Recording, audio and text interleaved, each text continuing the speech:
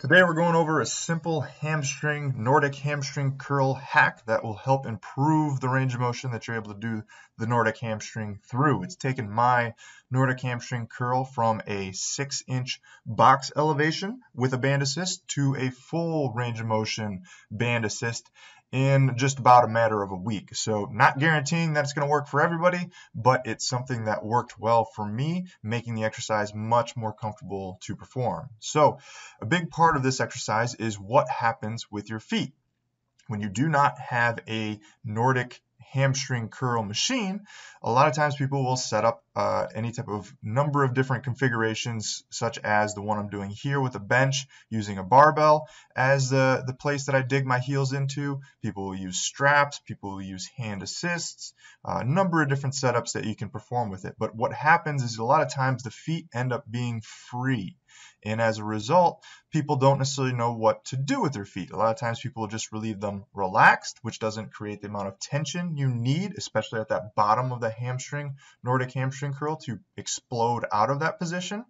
Um, other people will just kind of create tension in their calves by pressing their feet into what they would normally have a backstop in the Nordic hamstring curl machine or even a GHR machine has this backstop where you can almost leg press into the machine because there's this backstop there. Now what we need to understand about the Nordic hamstring curl is that it's an eccentric based exercise, meaning we're training the hamstrings in an eccentric or lengthening motion.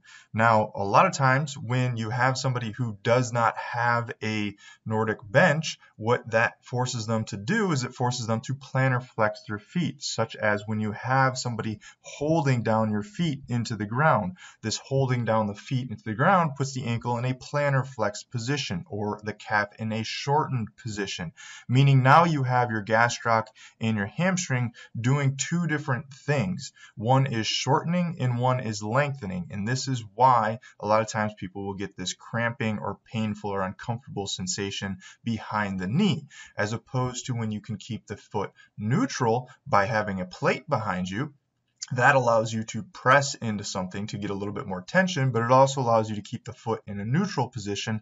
That way the hamstring and the gastroc are doing the same thing, both eccentrically elongating as you lower down and not performing opposite actions, shortening and lengthening. And that's again why people will get an uncomfortable sensation, especially the further down they go in the Nordic hamstring curl. So you may have some extra gains that are possible for you by just putting the foot into a neutral position um, if you're using some of these uh, different type of setups that doesn't not have a backboard.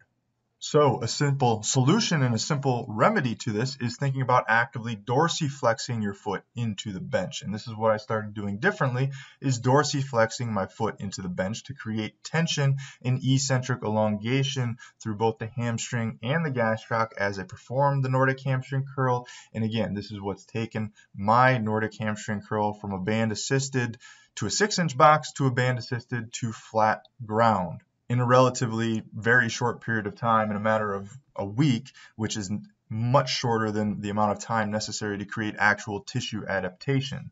So the change here, really all that it was, was getting comfortable with the position. So if you do not have a backstop, I suggest that you dorsiflex your foot into the bench. If you do not, have if you do have a backstop, great, but just make sure you keep your foot in a neutral position. You'll see a lot of people almost calf raise themselves out of this position by really plantar flexing their foot again, and that's not what you want to do with the exercise. You want to keep the exercise in a relatively neutral position. Use that backstop to your advantage. The final note I want to make in today's video is that a lot of people argue you can't arch the back with the Nordic hamstring curl.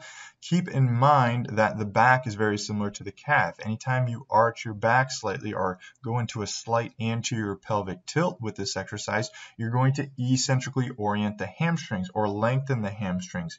If you posteriorly pelvic tilt or do the reverse of that and you concentrically squeeze your glutes by shortening your glutes, then you're going to give give the hamstring conflicting advice. You're going to give it a shortening sensation during a lengthening based exercise. So again, we need to keep the sensation similar to make the exercise achievable for the individual. So this is an eccentric lengthening exercise, which is going to be associated with a little bit of an anterior pelvic tilt. Now we can have a discussion of what is excessive, but you're going to see somebody have a little bit of an anterior pelvic tilt. And also we need to keep the foot into more of a neutral position so that we avoid the plantar flex position so that we avoid giving the muscles mixed signals, which leads to the cramping sensation, the inability to perform the exercise comfortably. So give these tips a shot. Drop a comment below as far as what you noticed when you perform the Nordic hamstring curl. Did you find it helpful? And subscribe to the channel for future fitness tips.